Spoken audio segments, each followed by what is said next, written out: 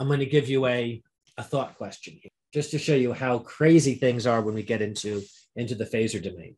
I'm going to give you a short circuit fragment. It's going to have an arbitrary inductor L, and it's going to have an arbitrary capacitor C. And my question is, is there any frequency? We're going to think about this as a sinusoidal steady state problem. We've got some sort of, of circuit out here and it's, it's driven by a sinusoid. So is there any frequency at which the circuit fragment looks like a wire? And the part B is, is there any frequency at which the circuit fragment looks like an open? And if so, at what frequencies? Grant, what would be your first step?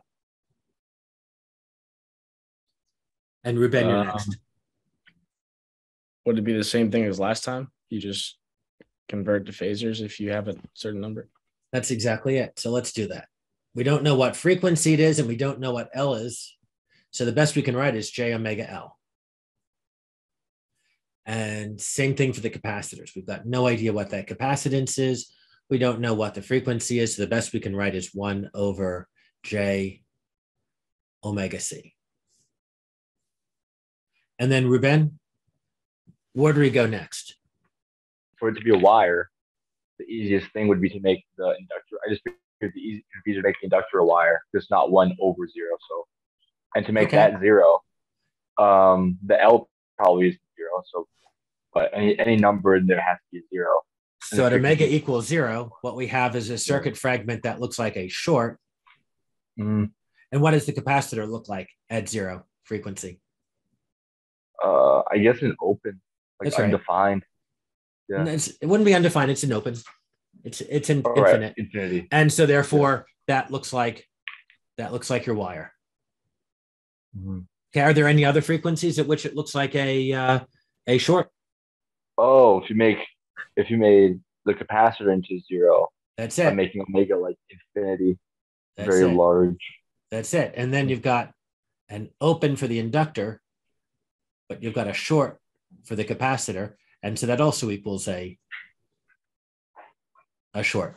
All right. So already this is a really unusual circuit, right? It, it's it's taken to either extreme of the frequency, it's going to look like a short. Um, Tim, how about part B?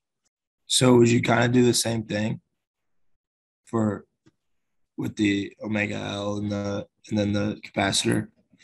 So to try and make the the circuit look like an open, um, it'd be kind of the same thing, right? Well, the problem is when you make one element, what Ruben just said is when you make one look like an open, the others are short. And when you make the other look like an open, the other one's a short. So either way, you've got a short in parallel, which shorts out the whole thing, which looks like a short. so you're trying to make um, both of the inductor and the capacitor both open.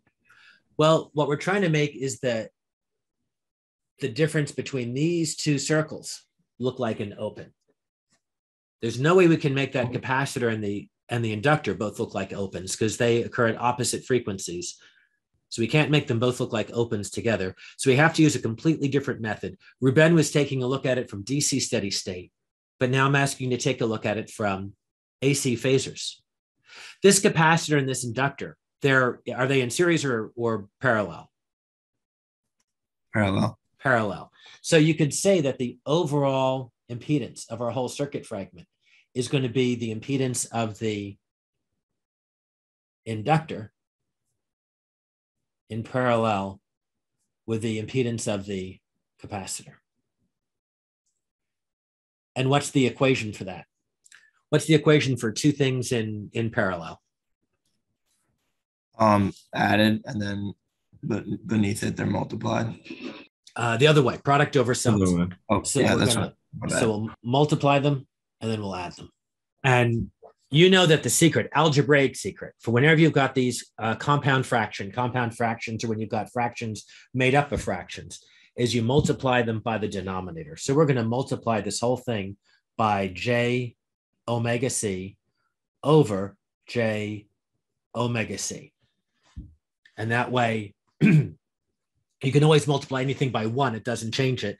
But now we get rid of those now we get rid of that denominator. So j omega c over j omega c just cancels out, and our numerator is now just j omega l.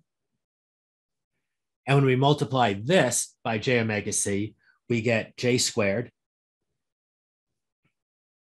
omega squared LC plus, and the j omega c's cancel, and we just get one. So that trick about multiplying when we see compound fractions, multiplying by the denominators is a really good trick to get out of problems with algebra. Okay, so now I'm just going to write this again. J omega L on top. And somebody tell me what is J squared equal to? Um, Liam? That's something I've written down somewhere in my notes, but I don't. Okay, tell me what J is, Liam. What is J, J- defined to be? Root of negative one. That's right. So now if you know that J is, is the square root of negative one, what would J squared be? Oh, oh, just yeah, that'd just be negative one. Okay. Yeah, that's all. So when you see Yeah. J squared, just know the two key things that are tricky with, with J's is J squared is negative one, and the other is one over J is equal to negative J. Those are the two, two things you should just keep in mind. So now let's go back to here. So I'm going to reverse the direction, and J squared is negative one, so that's minus omega C LC. All right, now continuing on this problem on the right, if we want the impedance of this to go to infinity, um, KC, what can you tell me about the denominator? What will the denominator be if we want if we want the impedance to go to infinity? If we, if we want this whole thing to go up to infinity, do we want the denominator to be big or small? Small. Small. We want it to be zero. We're going to solve for when this denominator is equal to zero, which is the same thing as saying when does the when does one equal omega squared times LC? And since we're running out of time, I'll solve it for you. Omega squared is equal to one over LC. So therefore, omega equals one over the square root of LC. You've already seen this before in our work with those plug and chuck equations for second order circuits. But now we've got our two answers to our questions that when omega is zero or infinity, this thing looks like a short.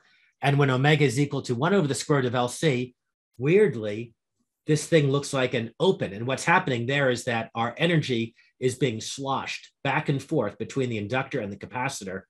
And all the currents going back and forth between here. And so none of it can go through.